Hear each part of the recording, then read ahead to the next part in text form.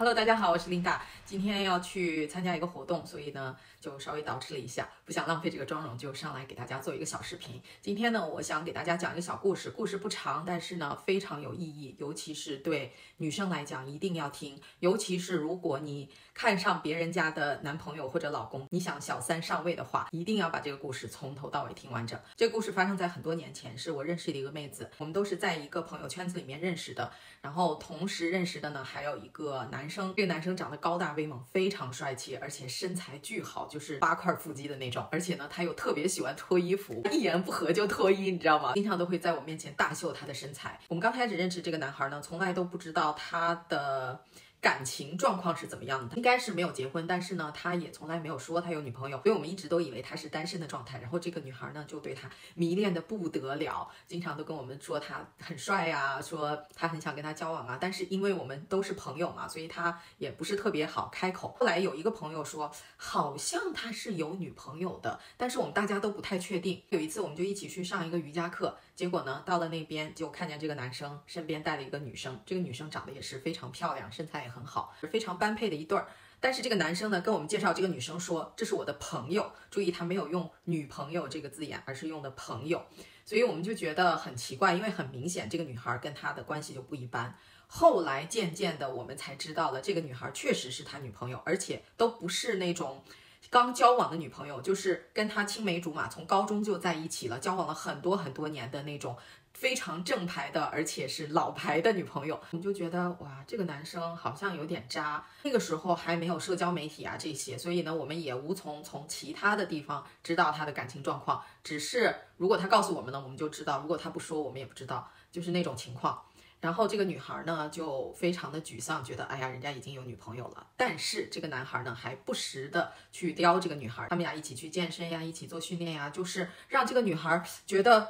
好像自己又有点机会。后来我们也从这个男生口里面陆续的听到这个女孩的一些情况。既然呢她已经公开了，所以呢就渐渐的把这个女朋友带到他身边，参加我们更多的活动。但是他对我认识的这个妹子还是非常的暧昧不清。然后这个妹子呢也一边自己心里面很纠结，一边呢又希望他可以跟这个女生分手，希望自己魅力足够大，可以成功的上位。当然这个时候他们俩还没。发生什么？只是彼此有点暧昧不清，但是终于有一天晚上，他们俩真的就发生什么了。两个人去健身也是弄到很晚，然后呢，这个男生就在这个女生家过夜了。他身边的几个非常好的朋友呢，知道这件事也都很生他的气，觉得哇你在干什么呀？人家已经有女朋友了。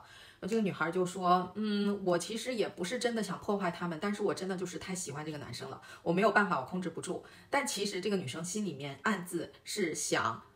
如果他能跟他现在的女朋友分手就好了，所以他们俩呢一直就维持的这种炮友的关系。如果大家有过很喜欢一个男生的经历，其实这也是能够理解的，就是你太喜欢这个人了，你就愿意为他做任何事情，即使你知道这件事是不对的，你知道他已经。有女朋友了，我不是说这个女生的行为是对的，我只是说我能够理解她当时的心情。这样的情况又拉扯了几个月，这个女生和这个男生还是以好朋友自居，但是呢，时不时的两人还会在私底下啊出一些状况。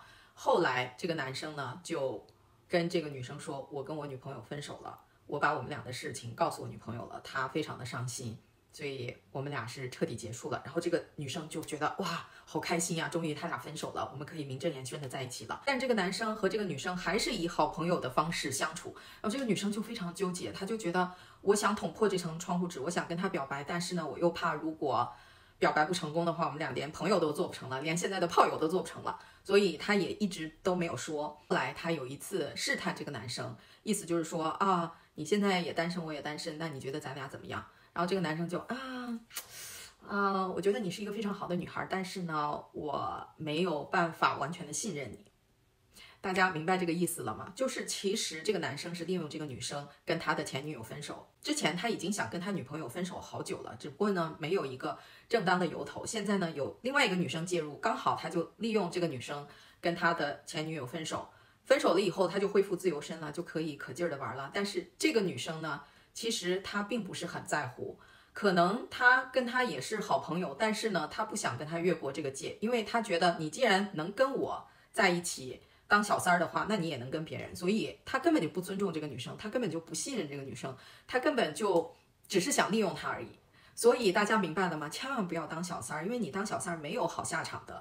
你能跟这个男人做的事，这个男人认为你也可以跟别的男人做。所以一定要尊重自己，要自爱，男人才会尊重你，才会爱你。所以不要痴心妄想你能够成功的小三儿上位。即使你可以短暂的上位了，以后还是落得被抛弃的下场，因为你这个位子得来的就名不正言不顺，就是以不能被尊重的方式得来的，所以他也不会尊重你，而且他可以抛弃他的前任，也可以抛弃你。这个男生其实我说实在话，还算有点良心，没有直接的就跟他在一起，最后抛弃他，而是选择跟他。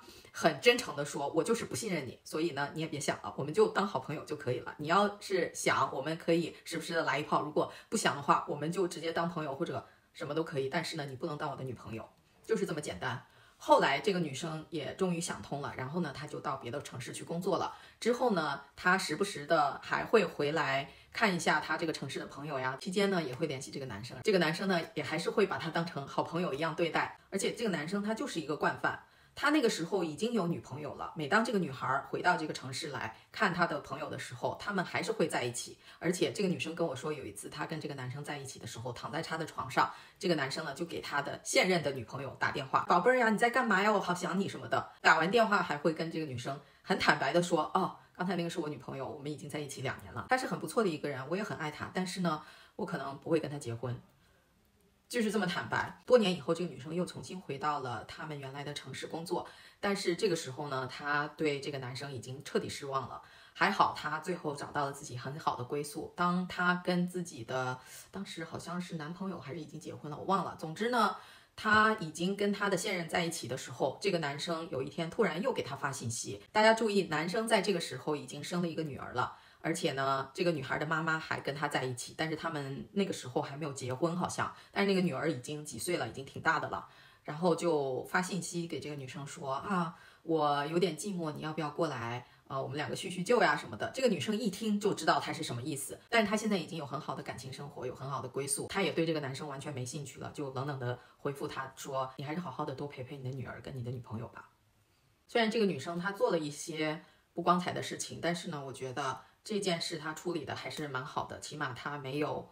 为了爱情冲昏头脑，也没有被这个男生彻底迷惑，而且呢，我也很开心，他最后有了很好的归宿。所以，我想跟大家总结的有几点：第一，不要妄想当小三儿上位，用这种不被人尊重的方式上位，你是不会得到男人的尊重和信任的。而且，这个男人如果他出轨一次的话，那他会无数次的出轨，不管他表面上有多爱你。所以，大家还是正正当当的。